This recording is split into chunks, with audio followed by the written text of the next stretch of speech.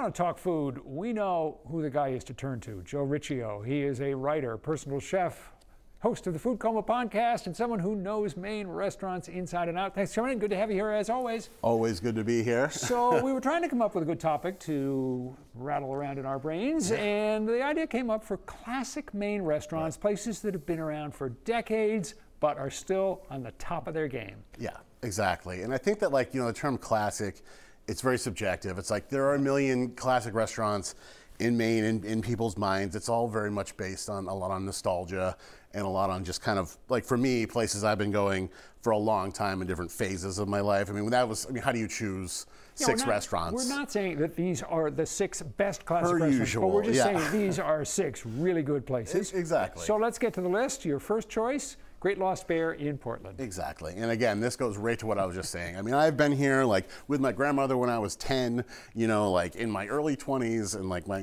mid 30s, late 40s. How many restaurants can you say you've been to in that many phases? It's just like, it never changes.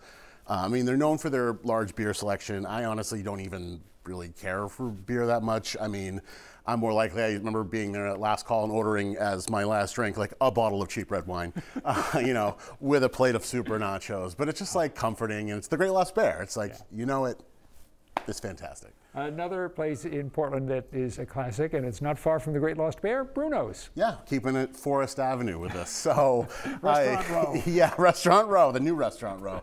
so, yeah, Bruno's is another one. It's like that kind of classic family Italian restaurant, you know, red sauce joint, like great like eggplant parm, like really great steak and cheese sandwich.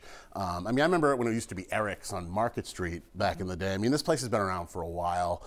You know, if I want to run into somebody I went to high school with, pretty sure I can do it at Bruno's. Uh, just again, like just consistent. I know what I'm getting, and it's comforting. You know. Well, the next choice is maybe a place where we're not going to run into our old high school buddies. it's the Asticou Inn oh. in Northeast Harbor, an elegant place that uh, has been around for I don't know how long, but truly decade after decade after decade. Yeah, and it's just that, you know, quintessential Maine and I'm not going to use the word classic again. I'm going to refrain from using classic again. I've said it like six times. Uh, you know, if you want your like chowder and you know people who uh, they have popovers. People who love popovers are obsessed with popovers. Yes. and you know they have other things on the menu but it's like people are like oh i love the popovers there. And then they have the azalea garden and if you if i'm comfortable risking cardiac arrest i'll make the climb up to the thuya garden which is up the hill and it's gorgeous. I mean it's just a beautiful property. Yeah. It's a lovely, you know. it's a lovely setting great views. The whole thing it feels like old time maine time or maine the way it used to be. A place that actually hasn't changed that much and which hasn't changed its menu a whole lot, I'm confident. Wasses in Belfast and Rockland. Yeah, if Wasses changed, I think that there would be riots. There would be a revolution. Yeah, I mean, hands down, it's my favorite hot dog. I mean, they, they fry them on the griddle in peanut oil. Uh, I'm a purist. I just like mustard on mine.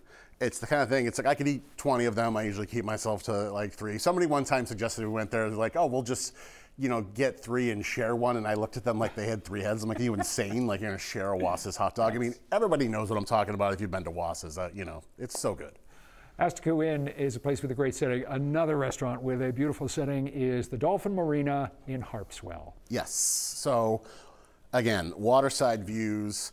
Um, easier to reach by boat, I think, than yes. by car. Yeah, it's probably like a lot of people. 15 minutes from Portland rather than 45. Um, but again, you know, just panoramic views of the water.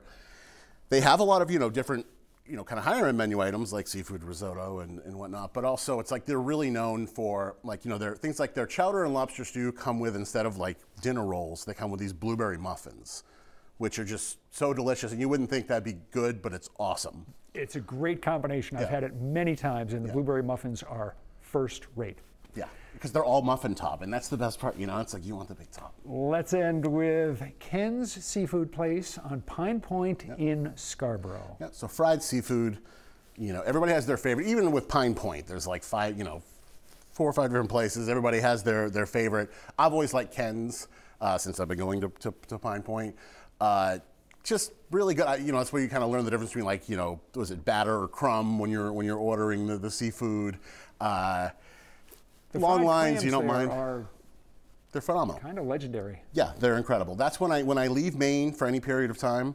That's the food that I'm craving when I first get back. Like something like that with like a mason jar full of tartar sauce and just kind of go for it. And yeah, Ken's is you can't go wrong with Ken's. Six restaurants. We'll use the word just one more time. All classics, and that'll be the last time we say it. We're done. Joe Ricchio, a pleasure as always. Thank you so much. If you'd like to see that full list and get more information on Joe, just head to the 207 section of our website or app and stick around because we're going to be back right after this.